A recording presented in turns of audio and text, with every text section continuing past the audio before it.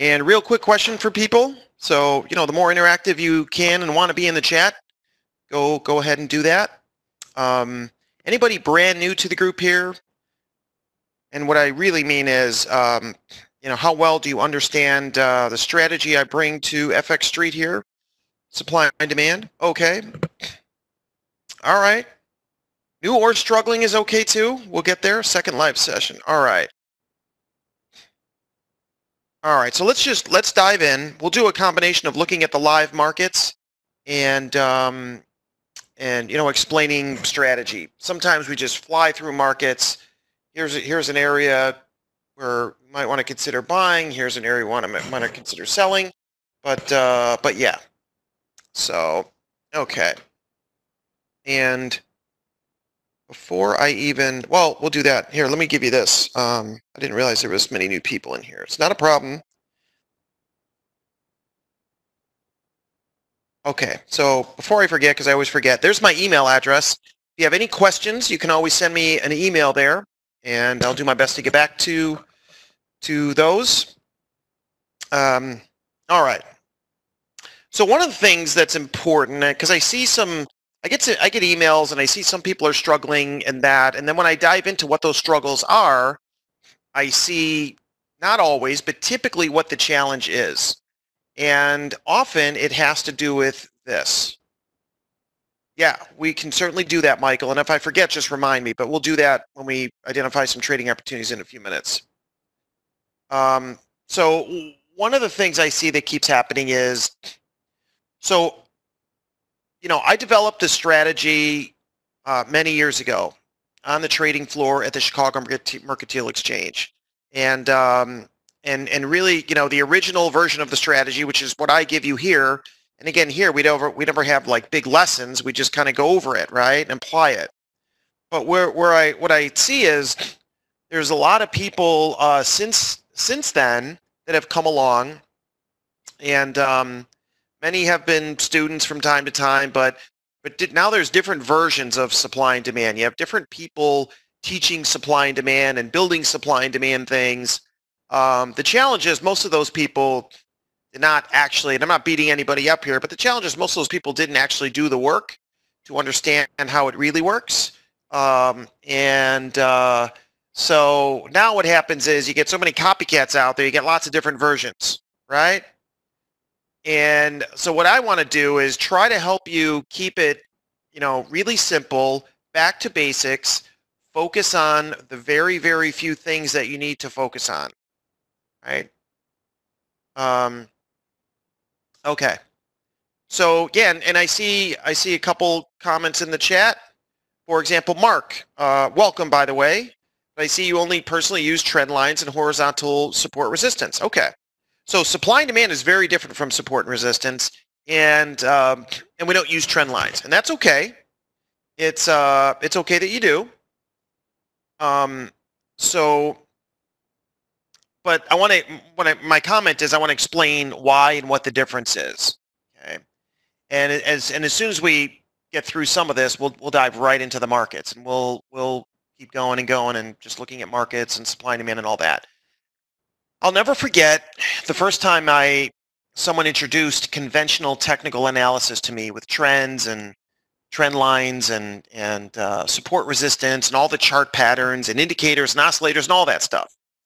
So when I first saw that stuff, it, it didn't make any sense to me because the entries and exits into the markets were almost opposite of what I was doing and what people like me were doing. Okay. So um, let me give an example, right? Let's just talk about the basic definitions of support and resistance, right? That most people use in their trading, um, trends and support and resistance. The, the, the, major flaw, I mean, there's a number of major flaws with just conventional support and resistance, even though it's like in the trading, basically Bibles out there, right? Um, think about it. To draw a support line, to have a support line, how many points do you need on a chart? How many times, how many pivot lows do you need on a chart to draw a support line? All right, Alfredo's saying two minimum. Nolte's saying two. Yeah, so two or three, right? Okay, so at least two, we could probably all agree with that. Now, if you think about it, every time price comes down and you have that pivot, those pivot lows, so now you have two or three, now you can draw that line. What are you supposed to do the next time price comes back to the line you just drew, which is called support? What are you supposed to do? You're supposed to buy. Exactly. Right? It's in every trading book and course ever written. Um, exactly. There you go, Alfredo. Be nice. I'm just kidding. So, but think about it. Now let's folk. Now let's have the conversation through the eyes of how the markets really work. Okay? Meaning, those pivot lows are there because there's some demand there, right? I think we can all agree with that. There's demand there, and demand exceeds supply. That's the only reason you can have those pivot lows. So now you have two or three of those into that area of demand. What's happening to the amount of demand as that picture that represents support is being created? What's happening to the amount of demand? Is it increasing or decreasing? It's decreasing. Those buy orders are getting filled. So the next time price comes down, you're supposed to buy, we're supposed to buy. That, that, that setup literally forces you to wait and then take the high risk, low probability trading opportunity or investing opportunity. Does that make sense? What that's saying is don't buy when the probability is stacked in your favor. Wait until the buy orders are gone or reduced and then buy. Does that make sense? And listen, I, I wouldn't am never going to claim to be smarter than anybody else. The only reason why I think this way is because, and I figured this stuff out, is because I started my career on a trading floor with real buy and sell orders from some of the biggest banks and financial institutions in the world. So you, you see how it really works. And anyone around me would be telling you the exact same thing I do, right? I didn't create or in, any of this as supply and demand. It's been around forever. This is just happens to be how the markets work. Had I not learned that way and had that experience, I'd be reading books and thinking like everybody else, right? Remember, there's a reason why most traders lose money and most long-term investors never come close to achieving their financial goals.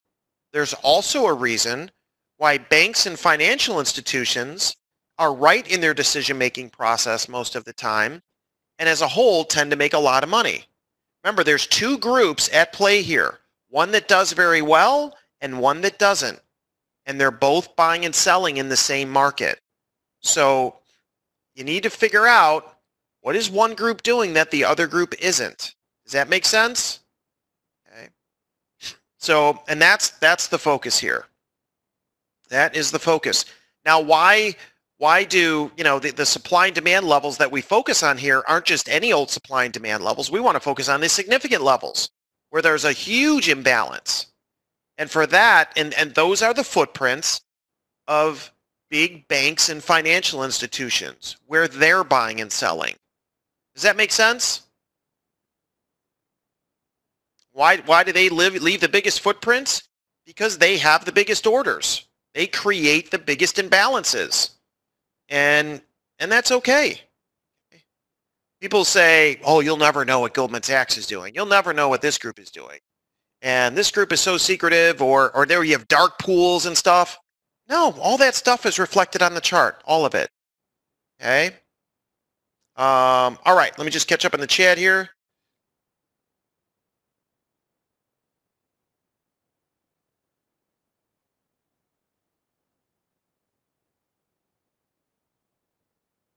Ah, so Max, I'm glad glad I read back because I, uh, uh, I I I see your uh, that yeah. So um, yeah, I, I would have missed that. Um, yeah, I wouldn't I wouldn't suggest at all that that there's main there's you know that there's it's market orders uh, moving the market. Um, from my experience, it's it's mainly limit or limit type orders, if that makes sense. In other words, what I'm getting at specifically is smart money, and think of a smart buyer and seller of anything, and I'm sure most of you are, the, are fall into this category. If you have something you want to buy, and you're someone who does your research, and you look up on the internet, you know, what the best price is for whatever you're looking to buy, maybe it's some electronic, maybe it's a computer, television, car, home, you name it. You're someone who really does your research, okay? Um, and you know, so you so you know what a good price is for the for the product that you want to buy. Um, what most what most people like that will do is they'll say, okay, that's what I'm paying for that product, and I'm not going to pay a, a penny more for it, right? I mean, do we have people in our group that that focus like that? Does anybody have use coupons to buy things or wait for things to go on sale? If you do that, okay, so most people that do that don't tend not to have big money problems, right? Not saying everyone that does that is is super wealthy, but people that do that tend not tend, tend to be smart buyers and sellers of anything.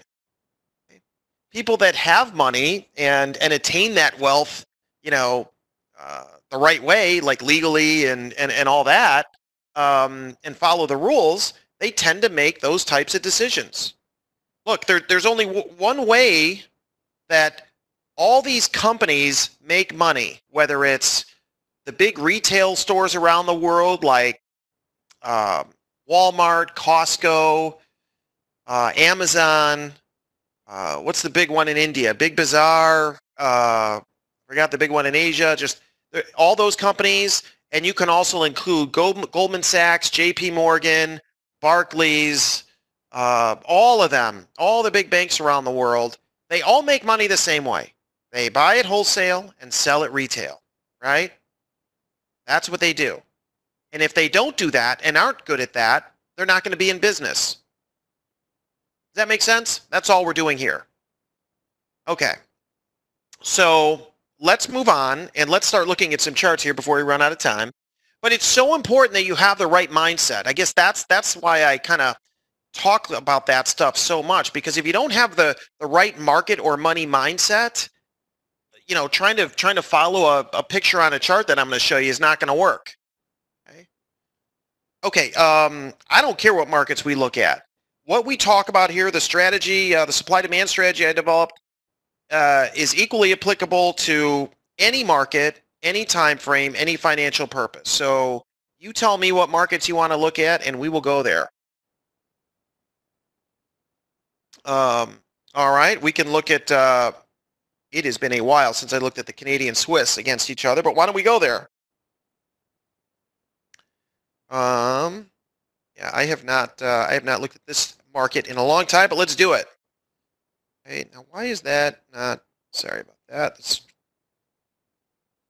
Okay, so let's uh, hang on.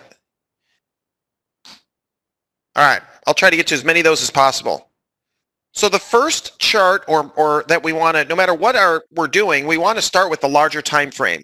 We want to know in the big picture supply demand uh, relationship, where are prices at? So if we just quickly pull up a larger time frame chart, we get a little information there, uh, not much. Um, now I'm going to go to a daily chart, okay? So is this chart giving us any information? Well, you know, we don't have any big time frame demand below, uh, maybe some evidence of some supply above, and we see where prices are at. So I'm going to quickly go to a different time frame, but at least at least I'm getting a good general idea here, right? Now I go to uh, the four-hour chart, and now we we can we can identify some action, actionable levels. So how we do this is you want to start with uh, current price right here. Go for demand, go down and left until we find our fresh quality demand zone that meets the criteria we're looking for. Okay. Um, and then for the supply side, the same thing. So if we do that, um, neither of these two areas represent demand, um, but this one can. Right? This one would meet uh, probably meet the criteria. Let's let's deal with it uh, for a minute here. Very uh, mechanical way that we uh, place our proximal and distal lines here in uh, in the demand zone. Okay. And there's that. Now, for people that are new to the program or new to the sessions, um, let me let me make it really really simple here for you. Blow the chart up a little bit more. Price is trading sideways. Think about it. Um, and all of a sudden, Well, supply and demand appears to be in balance here, right? Right, because price really isn't moving up or down. It's just trading sideways. It appears to be in balance. And all of a sudden, there's a strong rally in price.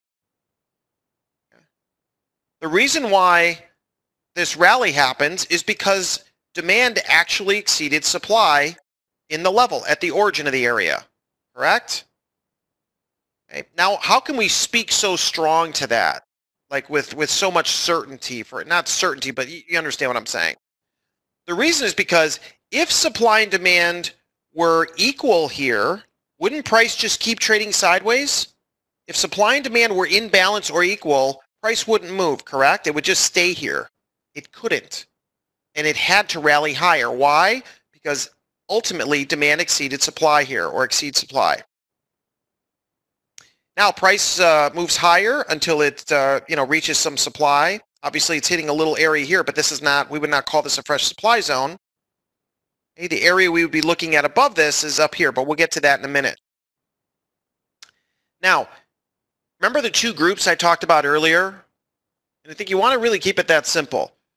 What is the group that, you know, what, is, what how does the group that makes money, how do they think and how do they act? And the group that doesn't, how do they think and how do they act? That's what I focused on. Now, if and when price comes back to the demand zone, well, first of all, who has an account size to cause a rally like this in a in a big forex market uh, like we're looking at here? Anybody in our group have an account size to cause that kind of a rally in this in this big FX market? No. If you raise your hand, you're going to be the most popular person in our session today. I'm just kidding. All right. So exactly. Okay.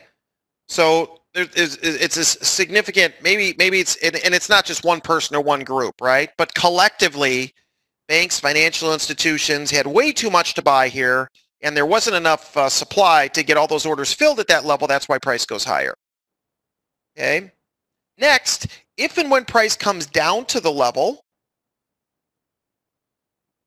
Okay, so, so we have an idea of who's on the buy side down here at this price. Now let's talk about the sell side. Who would the seller be down here? More importantly, to keep it simple, let's look at the actions of who would be selling down here if and when price comes back. Well, the actions are this. First, price would uh, be falling, so that seller would be selling after a drop in price. Not a smart thing to do. And number two, they'd be selling at a price level where the chart already told us demand exceeds supply. Right? Okay? If you sell after a drop in price, if your strategy is to consistently sell after declines in price and sell at price levels where banks and financial institutions are buying, what do you think your winning percentage is going to be? Is it going to be high or is it going to be low? Uh, or maybe the better question is what's your losing percentage going to be, right? Can you think of a worse time to sell in this market? Is there a worse place to sell?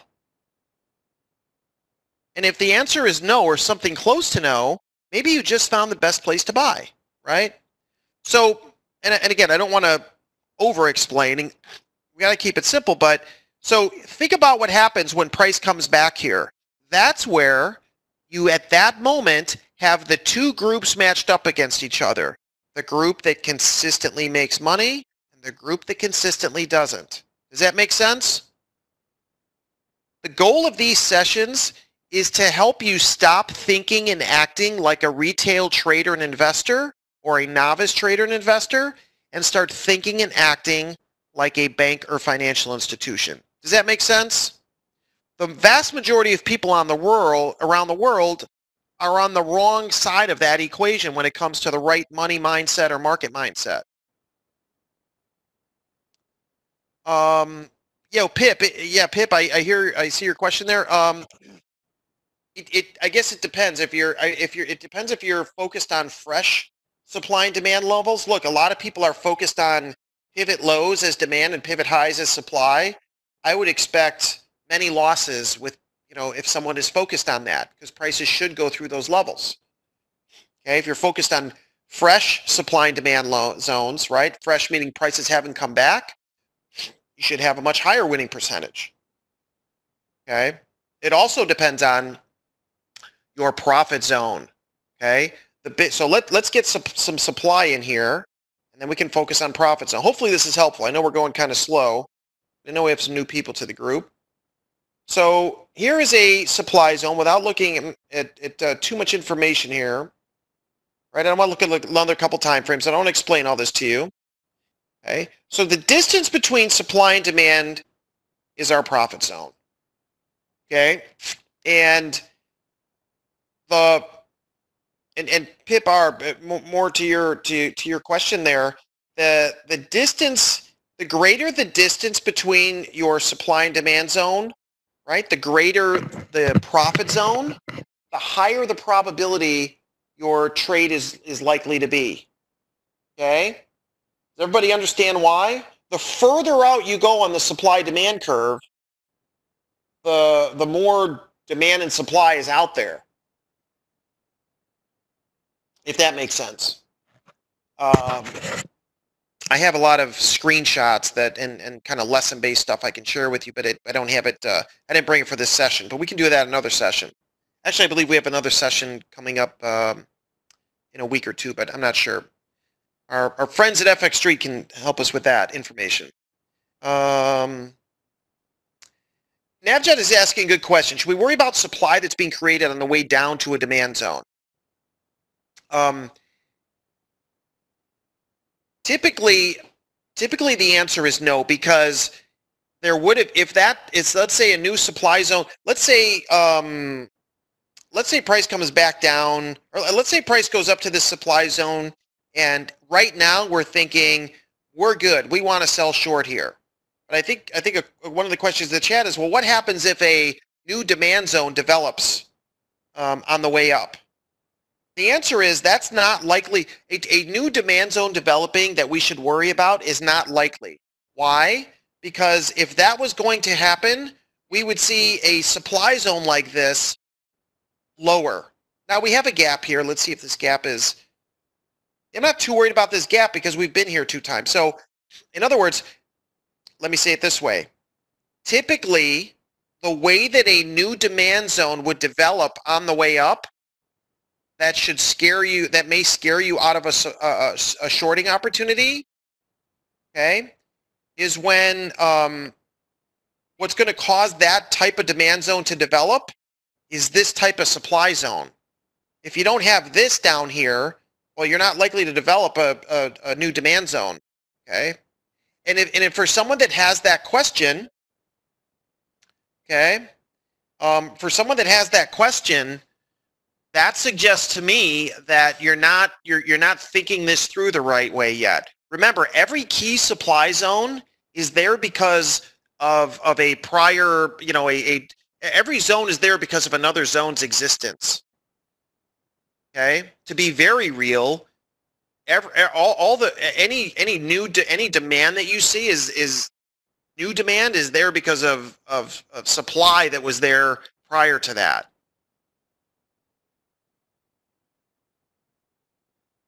Yes. So so so uh, and some people are asking questions publicly, privately. I guess it doesn't matter. So uh, um, see.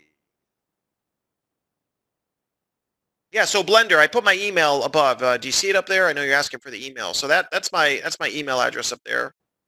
Um, yeah, so a level that, yeah, a, a level that, here, let me put it this way. Uh, you see the supply zone up here that we put in the chart, that I put in the chart? Eventually, there's likely to be a really good demand zone somewhere in that area. Does that make sense? Why? Because the chart is suggesting there's quite a bit of supply right here. Therefore, it's going to take quite a bit of demand to get through that. Now, are we likely to get a, what's likely to happen right now? Is there likely to be a, some new demand forming right now to get through these pivot highs? Yeah, there's like, that's likely to develop one of two things is going to happen here. Price is either going to fall because there's still some supply at the gap, or price is going to base a little bit and go up and create what's going to appear to be a new demand zone. But here's the catch. Because price has been up to this gap supply once, you know, twice, maybe even almost close to three times this area, there's probably there's not likely to be that much supply left. So it's not going to take a lot of demand to get to cause that to happen. Therefore, I wouldn't be too worried about this demand if if a demand zone develops here. Does that make sense? All right. And let me do this. Let me see. Hang on a second. I'm just going to put a horizontal line on the chart here. And uh, again, I have not looked at this market in a long time. So let's see. I don't even know when we're going to. Oh, we're not going to hit price for a while, I believe, right? Ah. See how we hit this right here? Does everybody see that? This is the first time we see that line again. Okay. So obviously there was a ton of demand there. Did you see what happened there the first time we hit that? Everybody see that on the bottom of the chart? Therefore, how much supply here, and notice we found the supply zone first. So the logic is we probably need it, we probably need a lot of supply to get through that after the react that reaction just back there. Okay. These are these are just some little little things, little nuances we look for. You know, very uh, very simple routine to do this. You just have to have the right rules and, and obviously the right right uh, mindset for it. Okay, we're spending a lot of time on one chart. Um, let me scroll back. Let's find the next one. Now, one last thing. Knowing where these levels are likely to be on the larger time frame, which we have here, we can then, because price is somewhat in the middle, we can then go down to, if let's say you wanted to day trade this market. Well, now we know that we're not near larger time frame demand or supply. So small time frame supply or demand zones that come up on a, you know, on a, on a obviously a little time frame, um, should be okay as long as they meet our criteria. But the closer we get to one of these bigger picture levels, that scenario changes. All right, let's look at, let's see what the next one on the list here was. Know, we've got the euro, oil. Oil's bouncing off one of our uh, one of our zones here this morning. Um, let's keep going here. So, yeah, let's get to the euro and I believe we'll focus probably on the four-hour chart there.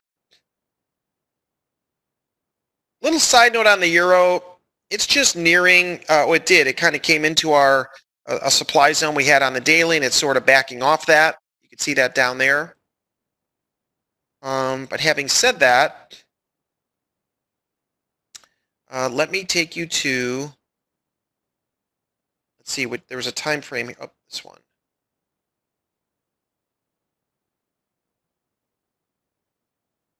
couple levels to focus on here. Uh, let me go to this spot. I believe I have all these levels for you in the spot.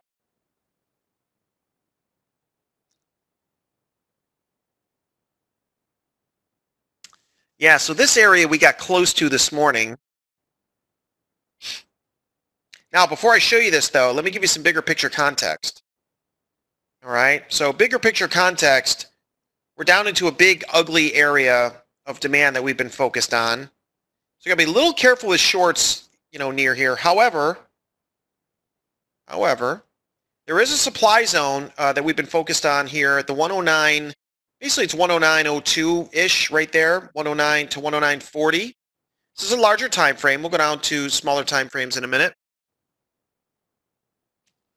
Um, and yeah, there you go. So you see how price barely touched that level a couple times here?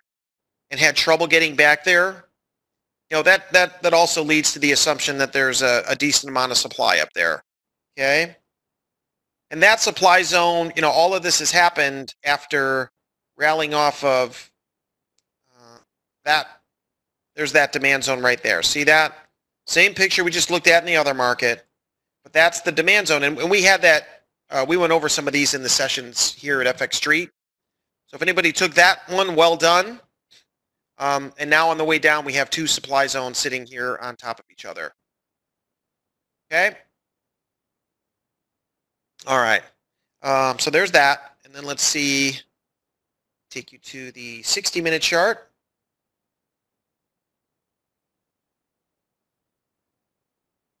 Um, no, we didn't have that there.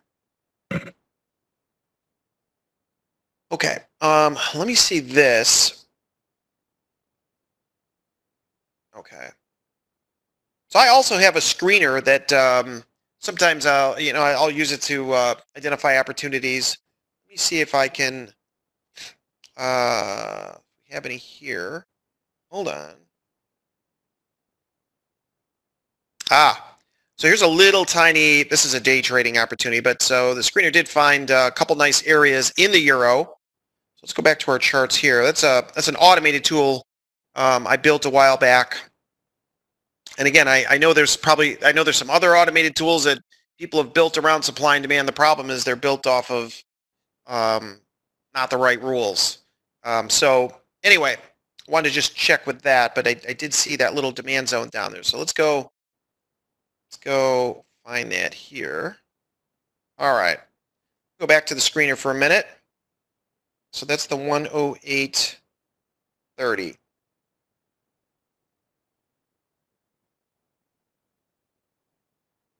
Ah, okay, that's this level right here.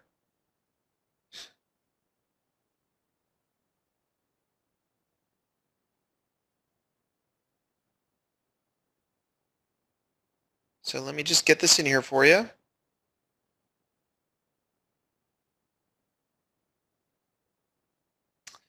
All right, so this level is sitting just below current price. Whoops.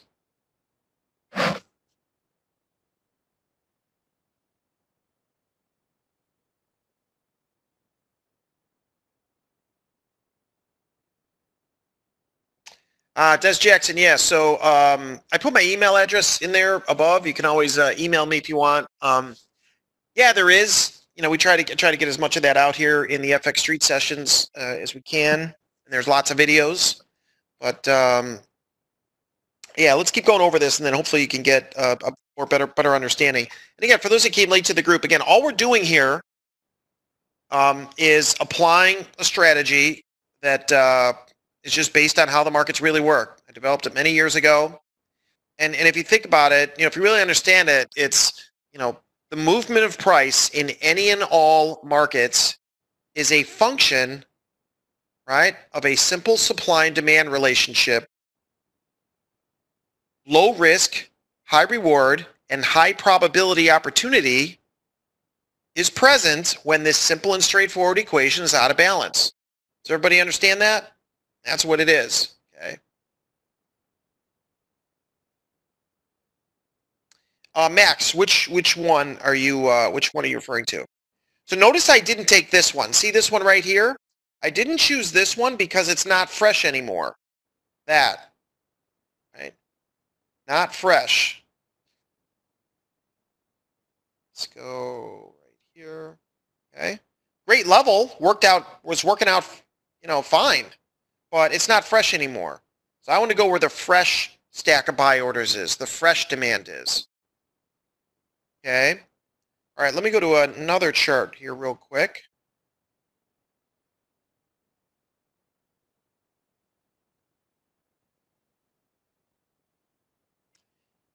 Yeah, so if you look at the 30-minute chart, so yeah, you have this area right here. That we would never call that a demand zone. Remember, a demand zone is never just one candle um, we would never use one candle as a uh, demand zone. If we did, you know, everything would look uh, look like a demand zone. I, I mean, we'd have supply and demand zones everywhere. And if we go down to smaller time frames, what you're going to see is this wasn't a demand zone at all. Price just went up, down, and then went up. Does that make sense? So yeah, that something like that would never qualify as uh, as demand. Ah, all right. All right. Okay. Um, so we found um, another, a couple areas of demand. We found an area of supply in the euro. Uh, where do we want to go next? Again, any market, any time frame, and then uh, you know if you're a day trader to your longer term investor. Let me scroll back here. I know. Oh, people want to look at oil, gold, the S and P. Yeah, so we can look at the S and P. Sure. I mean, we can look at any of these, not a problem.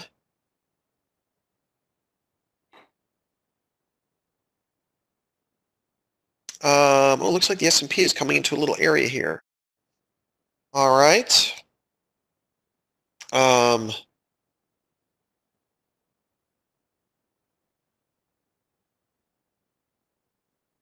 There's the little S&P. What I wanted to show you though was, so there are buying opportunities. Um, for those that are in the morning sessions, uh, I, I deliver every day.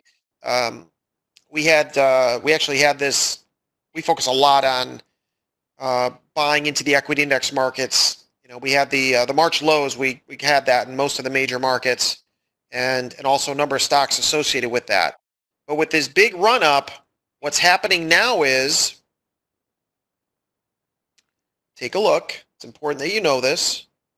We're getting very close to, well, not, not that close, but uh, we were close much earlier this morning to this supply in the NASDAQ around 9091, 9092-ish. Okay, it's a big area. So, but remember, we've had this big run up. Um, we've gone over this area and others in these sessions. And, but now this big run up has gone through the big profit zone that we had and now we're getting close to this. So in the equity index markets, you have to be careful. In other words, as far as buying, right? Buying at current prices, probably not ideal. Right? We were kind of talking about that yesterday and, and today. Um, not not uh, not ideal. We want to be buyers in the equity index markets, but not not uh, not from those levels. Okay. Does that make sense? And now, why am I showing you that level in the Nasdaq when when someone asked for the S and P, right? Because that level does not show up as clear in the S and P, but we can. Here you go. Right. If I go to a four-hour chart of the S and P, right, that that level doesn't just show up as clear. So we can take that Nasdaq level. Now the Nasdaq is a stronger one out of the bunch. Um, but you know, here's our bigger time frame demand in the S&P. Significant supply is higher, but again, the, the closer we get to this NASDAQ supply, the more we kind of want to, you know, no, buying is not ideal. Okay. All right. Um, let's keep going here. Let's take a look at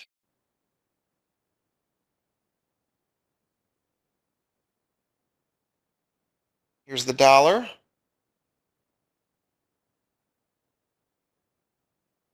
I see a bunch of people having questions. So there's my email address again, samseiden at gmail.com. I'm sorry. That's incorrect. Never know what it is. Uh, when I looked at it, I realized it was wrong. Here it is. samseidentrader at gmail. That's the correct email address. All right, when we look at the dollar, there's um, a couple charts we're going to need to look at. The 60 minute is important because, and these are uh, these are areas that we go over in these sessions. Okay, so price hit our supply zone, then fell to our demand zone, hit our supply zone again, and now we're back in the middle. So you have to be very careful entering positions in the FX markets now because price is in the middle of, of supply and demand. That's not where we want to be entering positions. That's where people typically lose money. Uh, people that buy and sell in the middle, in the in the white space. If you're if you're in uh, in those morning sessions, right? You got to be careful with that. You don't want to, you know, you probably don't want to be entering positions here. And because we're looking at the dollar, other big markets against the dollar are going to be in a similar position. And when I go to the four-hour chart, which is a little bit bigger time frame, we can see significant demand for the dollar is still lower. Right? We've already had one pullback to our 98.25. You kind of have a couple levels sitting there on top of each other.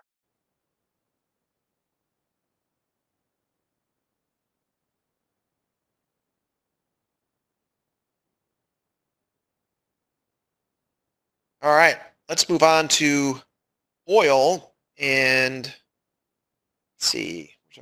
30 minute chart. Is this where we have our levels? Um, oh, we have some supply zones here. Let me find the demand zones. Ah.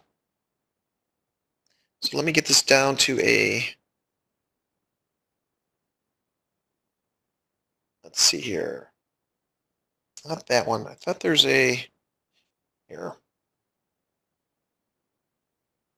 Uh, we came down into our, our, okay. So we came down our demands. We're well off that now. So Um, yeah, probably not much to look at in oil at the moment. Only because it just, again, it just kind of came off our, uh, it did come off our demand zones. So is anybody here in the morning sessions with us? So we had this area down here just below all that. Is anybody here in my morning sessions? Probably not. Okay. All right.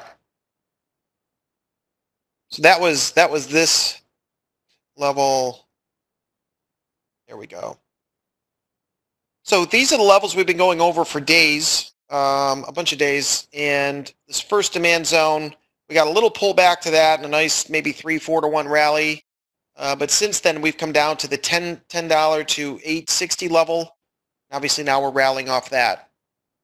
Significant supply is still higher, so there's a nice big profit zone to the upside. But at this point, there's not much to do. Right? This first level worked out fine, so we could probably just get rid of that. Um, that one's done. And now we're just moving higher off of the, uh, the demand down here. Now, uh, and again, if you've been in the sessions, we've been, you know, we've, we've been going over this for days, but take a look. So why is that demand? Well, let me blow up the chart and show you, right? Big part of why we're here today is to, so you can help understand this. Okay, you start to see what's in there. Take a look at that. Right, here's the low in oil from the other day. Price comes up, base is sideways for a very short period of time, and then shoots out of here like a rocket. That suggests that there's a big supply-demand imbalance here on the demand side. Okay? Price then, take a look, oops. Price then attempts to come back to that level, but can't even do it. Why? Because demand exceeds supply so much down here. Then it looks like um, price comes back and, well, didn't even barely touch it this morning and shoots up like a rocket. Okay, so there's some demand down here. The other thing we've been really focused on is um, in the sessions are oil stocks like ExxonMobil. So here's the buy we had um, for the uh, you know for the morning session group. But you know you can also play oil that way, all you know too. Okay, through through the stocks. So even though oil's been falling, the, the key stocks in that sector have been holding up really, really strong. Okay. Yeah, no, I know we're out of time. Uh, these sessions usually go about 45 minutes. So yeah, it was great to be with you. And again, I uh, for those that uh, you know understand and, and been in the sessions, you know, my apologies for going so slow, but we had a, a bunch of new people in the session, so I wanted to make sure they had a general understanding of what we're talking about. And um, and we get some good levels out there. And uh, there you go. All right, have a great day, everyone. Again, if you have any questions, comments, anything like that, you have my email address. And um, and there are more videos and stuff like that uh, on FX Street's website. So we'll see you next time. All right. Have a great day, everyone.